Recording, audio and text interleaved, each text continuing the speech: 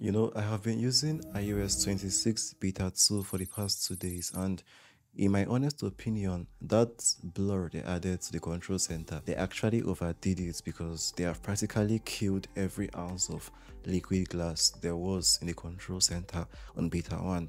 Apple has to find a way to adjust this to be more visible to the eye without actually killing the points of the liquid glass. Yeah, in my opinion, I kind of prefer how it was on beta 1. It looks better aesthetically, even if it doesn't look readable to many people. They also added this kind of a contrast to the notification icons and the notification bar that controls that text. It looks also more readable to the eyes on beta 2. One funny hidden stuff that we found later on was in the keyboard. If you add an Arabic transliteration keyboard to your iPhone in keyboard settings, you now have the number row. Of course, this would have been very sweet to use on the betas if the Arabic thing didn't make the texting stuff to be by the left yeah because that left means it's not usable but i hope this is like a sign apple is going to add the option for a number row as it's going to be very sweet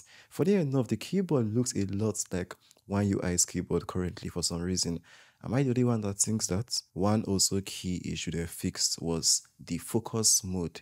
Yeah, on the lock screen, when you add a lock screen widget that stays by the bottom, the focus mode usually like overlapped with it on beta 1 so on beta 2 they added a little margin between focus mode and the lock screen widget bar yeah and it looks a lot better we also have the new tab button on Safari. It has been brought down. Yeah, it was previously at the top in beta 1 and it was actually very annoying to reach, especially if you use a Pro Max iPhone. So Apple brought it back to the bottom left on beta 2 and it's a lot better. Thank you, Apple. We have a new system widget called Live Radio for the music app on beta 2 as well.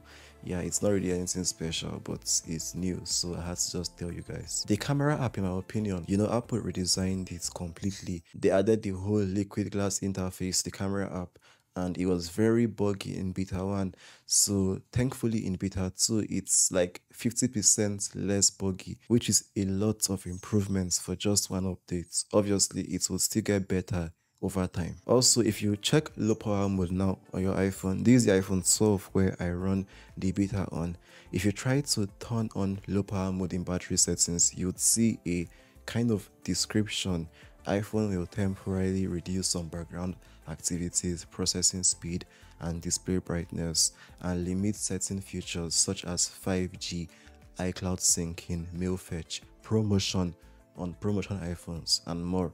Yeah, so you now have a more accurate idea of what low power mode does on your device. For performance and battery drain, battery drain is still annoying like how it was on beta 1. Yeah, someone even said it drains faster on beta 2 than how it drained on beta 1 but then the person said performance has improved and in my honest opinion performance was already good even on beta 1 i ran a couple geekbench scores for CPU on the A14 Bionic on the iPhone 12, you can see single core is practically the same with what you have on beta 1. Yeah, but multi-core has a little drop which I can probably attribute to like the fact that I ran this the same day I updated to beta 2. If you compare the Geekbench scores to the ones I ran for 18.4.1 you could see they are practically the same and the single core is even better. So i can't really say there's any difference. Overall they kind of even each other out. So that's it for beta 2 i've taken my time to try it out.